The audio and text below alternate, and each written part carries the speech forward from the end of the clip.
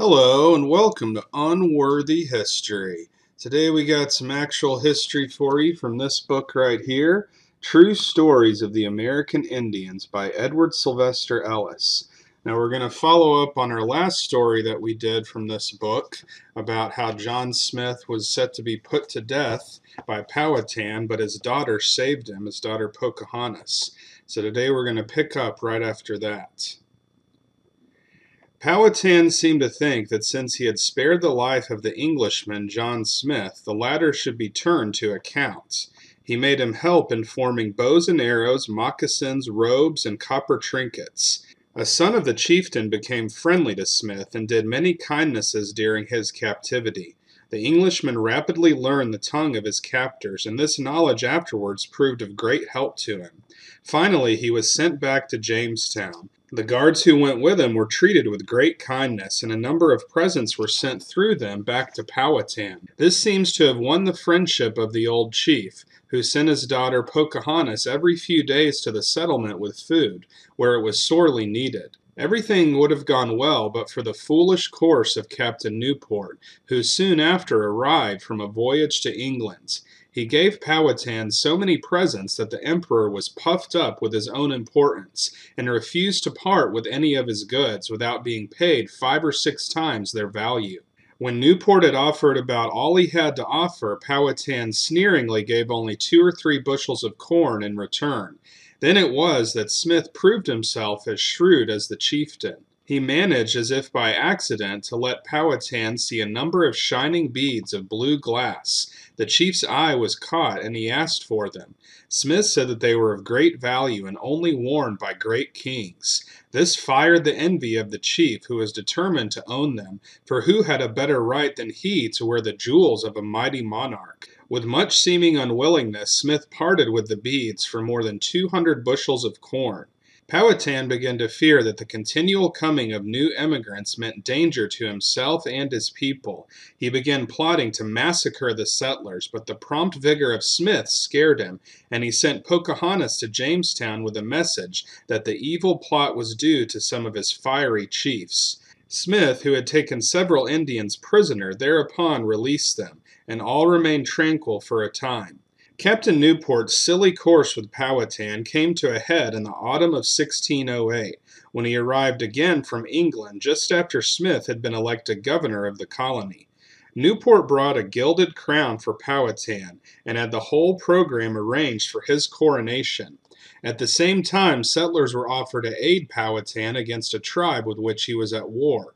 When this message was sent to him, the haughty old leader told the English that since he was a king, he would not go to Jamestown, and as for the offered help, he did not wish it, as he knew how to manage his own affairs. Among the emigrants who came over with Newport were three Germans, who believed because of the woeful state of the colony that it could not last much longer. They gave their views to Powhatan and were base enough to offer to help him in putting all the English to death. The old chief fell in with the plan and agreed that the first step necessary was to remove Captain Smith.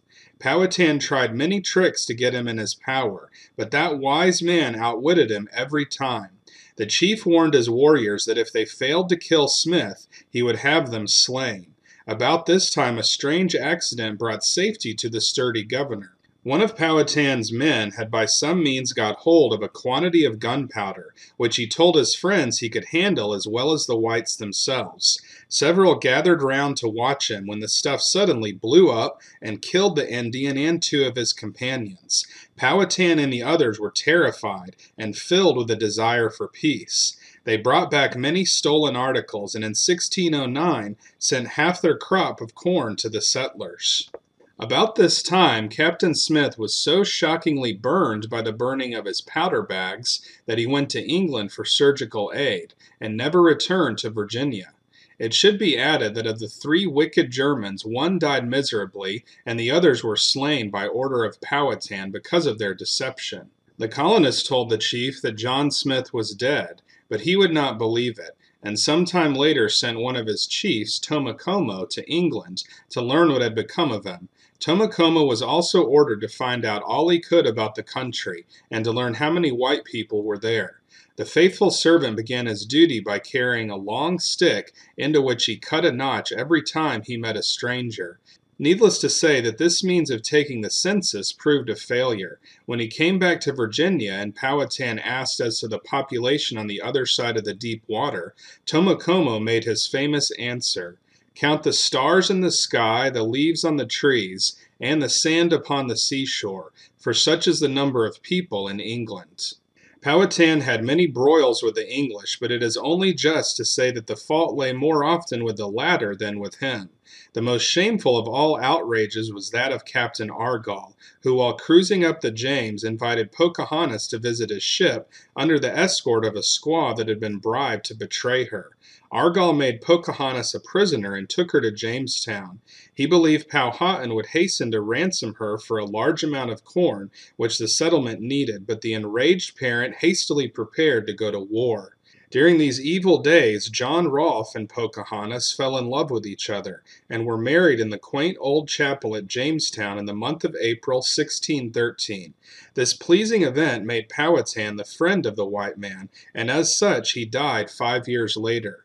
We recall that Pocahontas and her husband visited England in 1616. She received much attention from the court and the leading people of the kingdom, but when about to sail for her native land, she fell ill and died. She left an infant son, Thomas, who was educated in London by his uncle, Henry Rolfe.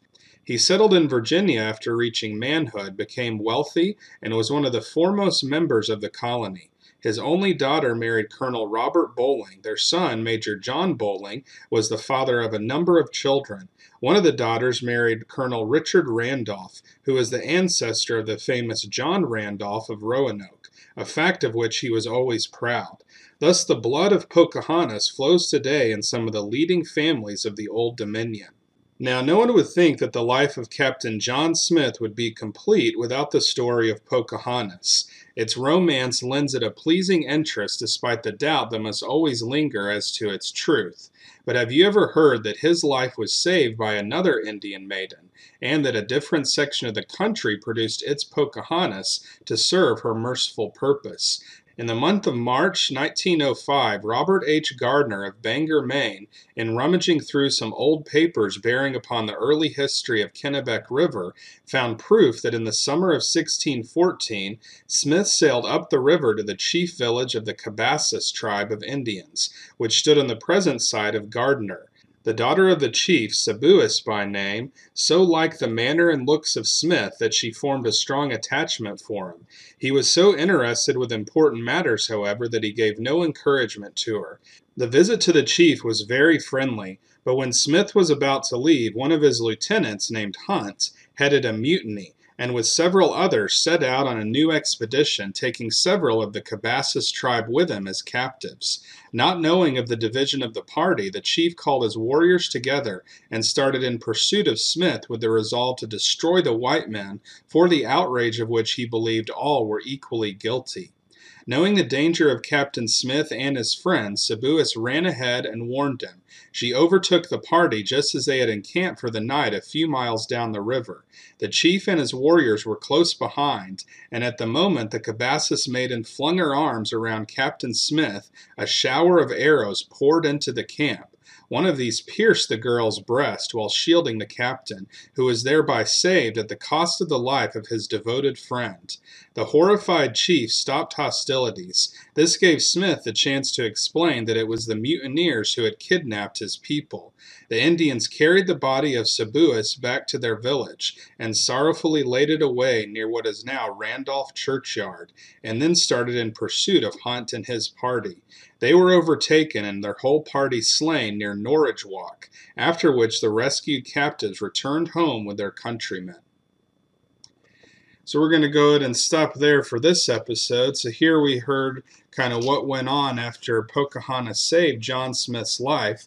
There was some early strife between Powhatan and the settlers. Then there was peace, and then we heard at the end this story about another Indian maiden basically saving John Smith's life again.